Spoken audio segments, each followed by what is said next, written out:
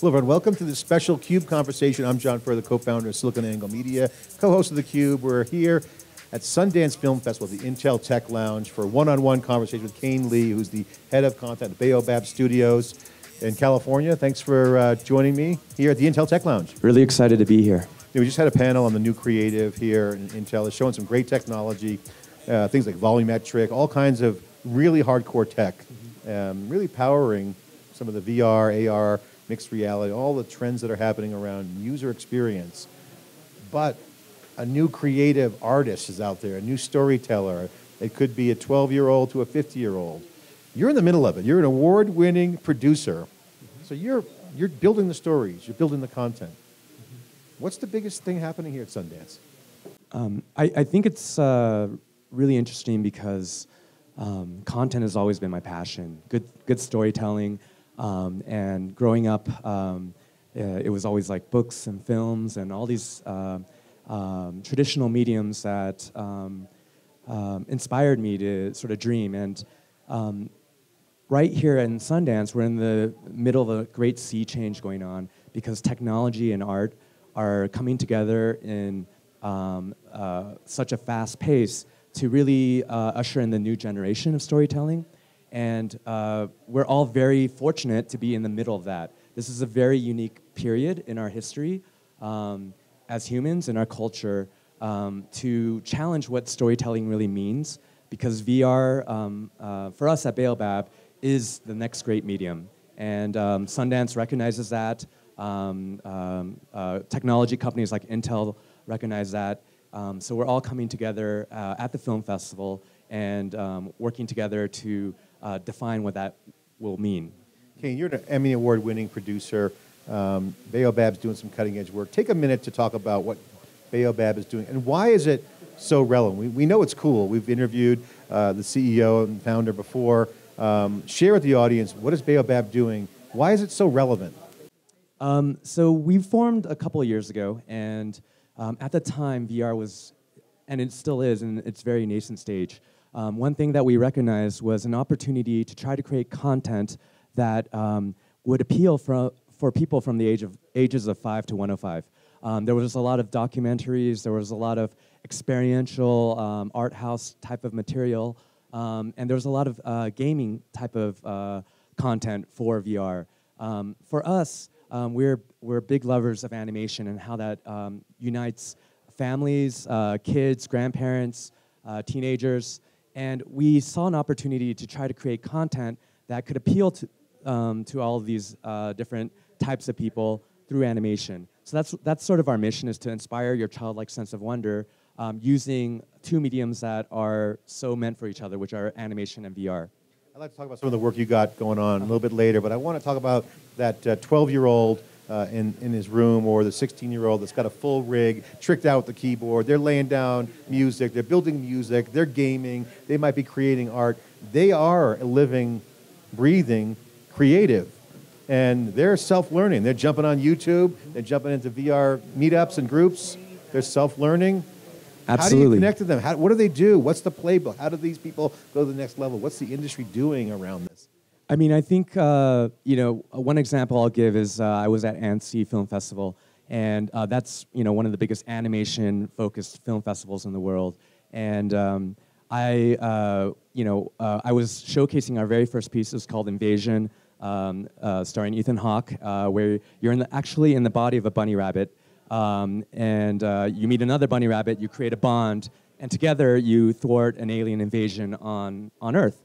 Um, what was so interesting to me was I had never seen um, that, that sort of that demo, that teenage demo, um, uh, where young boys and girls would actually bring their parents back to the experience and say, "This is what I want to study uh, in college. This is what I want to do, um, you know, in, in art school." So, um, I think that they, um, you know, growing up with all this new technology, really sort of get um, the idea of being in real time um, and, and having storytelling in real time.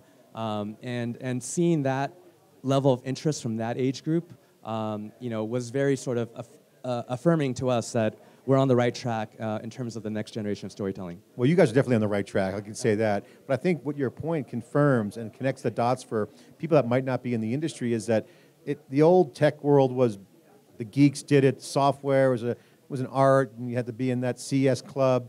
The democratization is a big trend here, and what you're talking about is people are humanizing. They can see real, emotional, practical examples. So the young guns, the young kids, they don't have baggage. they, they look at it with they look at it with a you know clean slate and going, I want that. I can see myself using this. I can self-actualize with this. So it really kind of tips the scales and proves the point. Absolutely. Um, we, uh, we, we world premiered Asteroids, our second VR experience, uh, starring Elizabeth Banks and um, uh, one of the biggest millennial stars, uh, Ingrid Nilsen, uh, last year at Sundance. Um, even had the first uh, red carpet VR premiere in Sundance history. Um, and watching um, the younger generation, um, it was our first piece where we actually used the controllers that had just come out in that past year. And watching them um, go in with no preconceived notions on what using uh, controllers could be to be a character in the experience. Um, you know, it was it was just fascinating because they picked it up faster than anyone. Um, you know, and, and learned the language of being a character and having hand controllers. Um, you know, uh, as a robot, so you could play fetch uh, with an alien dog, or um, you know, you could mirror their actions, or they might mirror yours, and, and creating these bonds and these experiences. Um, you know, so uh, that sort of fresh perspective is really exciting. Talk about the role of those, these experiences and how they connect people, because one of the big trends also online today, in today's, I would say, yeah, to peg the evolution is you're really getting into the immersive experience. I believe that, but content creates bonds between people, and good experiences creates glue between relationships and forges new ones, maybe enhances uh, existing ones. This is a big part of the media. Absolutely, absolutely. Um, uh, for us, emotional connection is the key to getting people to put on headsets uh, and to come back to our experiences. And that emotional connection for us um, is what we've witnessed in terms of people forming bonds with our characters. So everyone knows that VR can bring you to brand new worlds and exciting places and immerse you in, in places that you can never go. But the one thing that I think we learned um, um, in our experience uh, in our experience with VR is that if you can create a bond between the user and other characters in the experience that they believe is real, um, and we use uh, psychology, technology, and storytelling to do that, um, then they want to come back again and again. So, um, you know, one of the trickiest parts of VR is trying to get people to have repeat views. Um, you know, and the feedback we've gotten from a lot of uh, the technology platforms is people come back time and time again um, you know, and, and it seems to be because they actually believe these characters are real and that they're friends. So talk about your journey because um, you're at the front end of this wave and you're participating. You're creating art. You're creating work products. You're building technology with the, the Baobab Studios.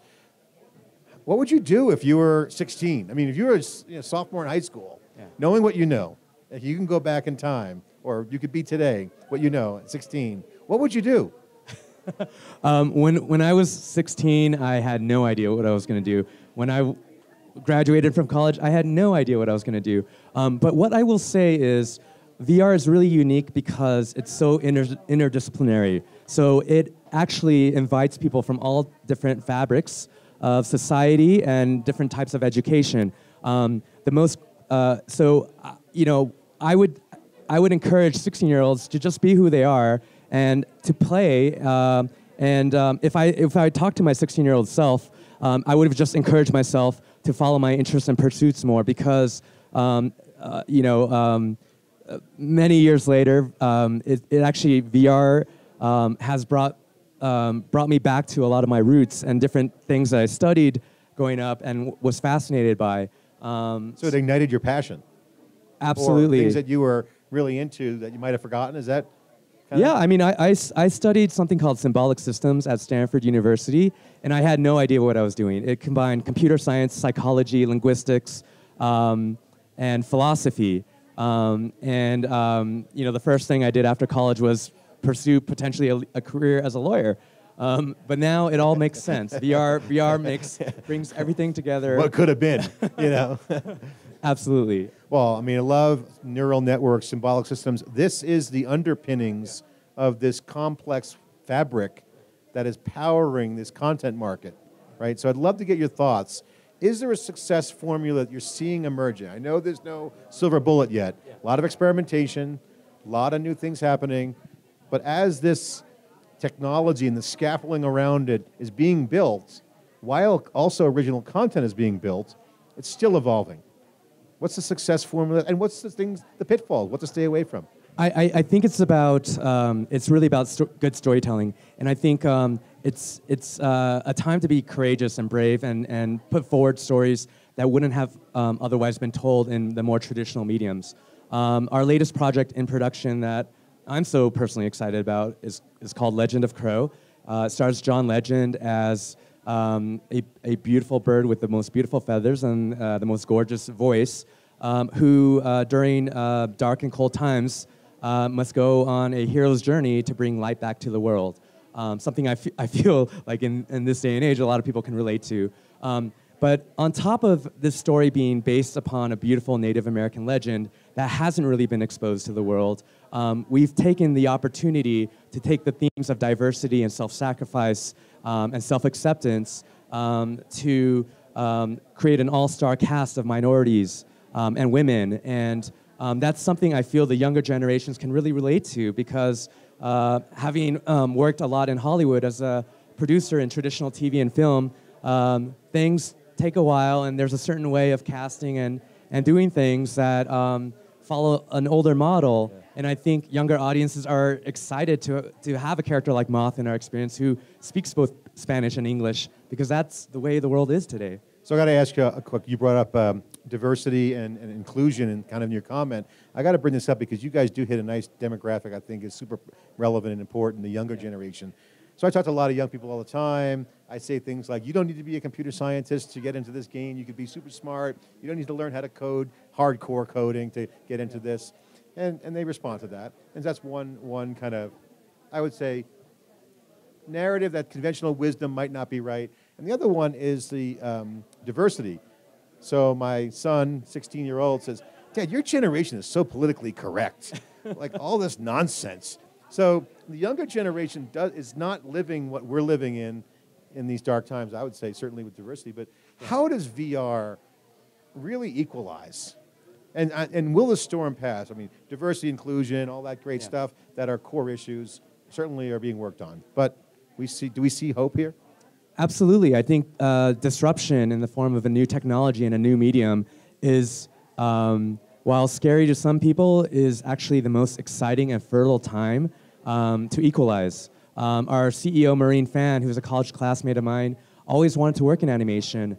Um, you know, and uh, she finally saw the right opportunity when VR came, and we put on headsets for the first time and saw how the, how um, there could be a new wave of um, uh, exciting animators through this disruptive technology because everyone else in more traditional animation is so focused on the old model and the old ways of doing things, of getting things off the ground, of financing, of um, uh, creating uh, certain kinds of content that um, have been proven over time in the old sort of studio model.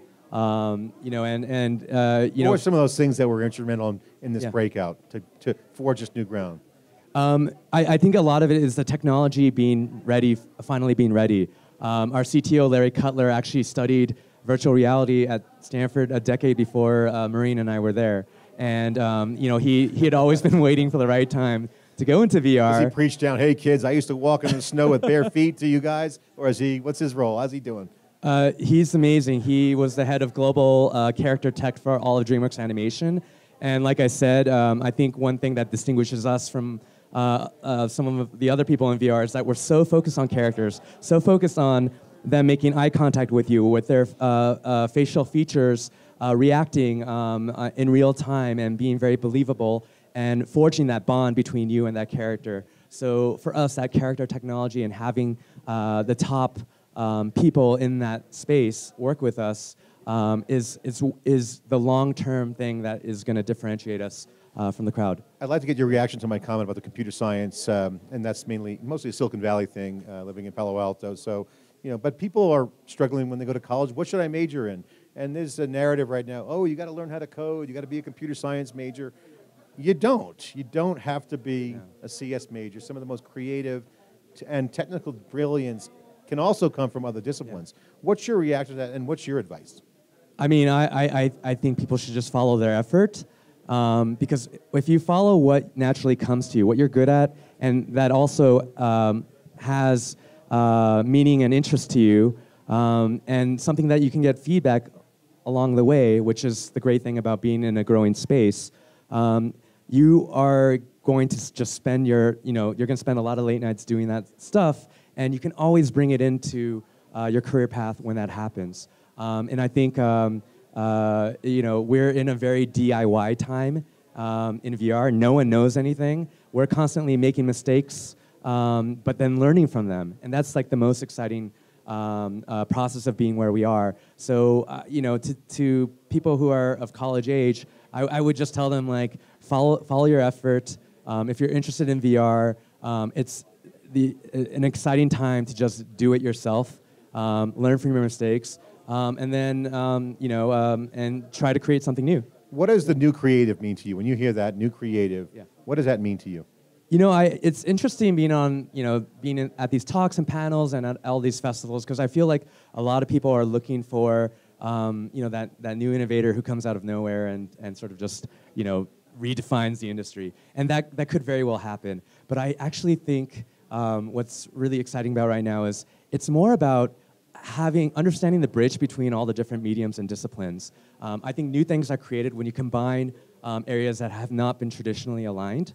Um, so, for example, Orson Welles arguably created one of the, the you know the first great cinematic masterpieces uh, in Citizen Kane, um, and he came he but but he was able to do so by bringing uh, values from um, um, from theater and from radio and and areas where he um, sort of learned the art of storytelling, and he was able to combine them in new and interesting ways that people hadn't seen before. So um, for me, it's it's it's less about you know looking for that sort of silver silver bullet of a creative person yeah. who comes out of nowhere, but but these younger generations who understand these different mediums, combining them and creating connections with them in an exciting way. Brooks Brown from Starbreeze Studio said in the panel, that's breakout star is going to be the kid in the basement that no one's ever heard of. Uh, very possibly, but that kid in the basement, um, you know, he needs to be passionate about a lot of different disciplines. Um, so what we've tried to emulate in, in, in doing so is bringing the best people in gaming, bringing the best people uh, from traditional film, bringing people who had interests in um, a, a, lot of different areas, uh, different art forms, and letting them kind of play together and learn from each other argue with each other, you know, and, and, and, then, um, and then come up with something that no one's seen before. We're going to have to come up with cameras. That could be like an experiment, like it's just a reality show in and of itself. All that, all that talent, multidiscipline together. Abs- a- absolutely. It's like dynamite ready to explode. it's, it's, it's the challenge, it's the blessing, it's the curse and the blessing of, of, uh, of our medium right now because um, there's so much more to discover. But if people come in and have an open mind and are willing, you know, if if the people from Hollywood are willing to learn from the people yeah. who do gaming in Silicon Valley, who are open to learning from the people in New York who grew up on live theater, um, you know, I, I, I feel those uh, finding that intersection, yeah. finding those beautiful intersections are, are where we're going to thrive. Well, you guys highlight that multidisciplinary thing, but also highlights why diversity is so important. Diversity brings the most perspectives to the table, the most data, most contribution. It might be a little bit longer to, to, work through the arguments, right? I mean, you got to be patient. Uh, you know, uh, absolutely, you have to be patient. Um, you know, we're we're really lucky to be working with John Legend on our VR piece. He had actually been looking for several years to find um, wanting to be in, play in the space, but not wanting to do it at you know with the wrong partner at the wrong time. Um, so it's you know there's there's an art to timing in everything that we do right now, and when we presented to him the story we're doing with the Legend of Crow, you know, um, you know, it, it felt like the perfect sort of match. Legend of Crow coming out ahead of content. Kane Lee here, Baobab Studios. Uh, thanks for spending the time here in the Cube conversation. What's the timing of the release of, of, of the, of the program? Um, probably late spring, but um, uh, we're, we're going to be announcing um, some news around that soon, and we have some more exciting updates about it that um, I can't wait to share. All right, we are here at the Intel Tech Lounge. This is theCUBE's Conversation Sundance Film Festival, part of our coverage of Sundance 2018. I'm John Furrier. Thanks for watching. Thanks.